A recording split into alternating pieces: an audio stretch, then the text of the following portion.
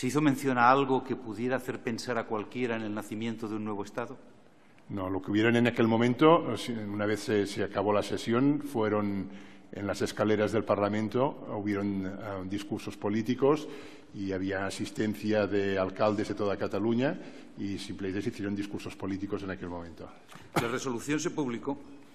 Las resoluciones no se publicaron ni en el, ni en el Diario Oficial de la Generalitat ni tampoco en el Boletín Oficial del Parlamento de Cataluña. ¿Hubo algún movimiento más?